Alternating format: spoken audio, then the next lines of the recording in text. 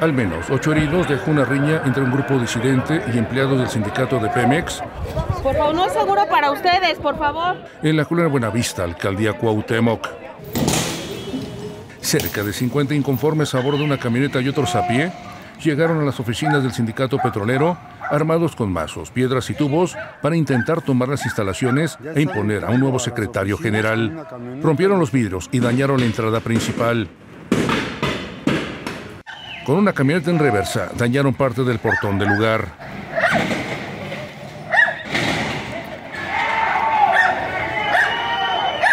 Integrantes del sindicato salieron de las oficinas para enfrentarse a los disidentes. Varios resultaron heridos, entre ellos su líder, Rubén Cureño Morales. Afuera del sindicato petrolero seguía el enfrentamiento. De repente escucharon unas sirenas. Ante la cercanía de las patrullas de la policía preventiva, los disidentes comenzaron a huir en diferentes direcciones.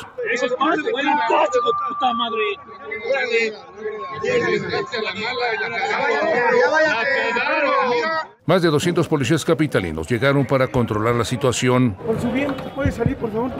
Con equipo antimotín y extintores, cercaron el sindicato de Pemex y formaron una valla para cerrar la calle.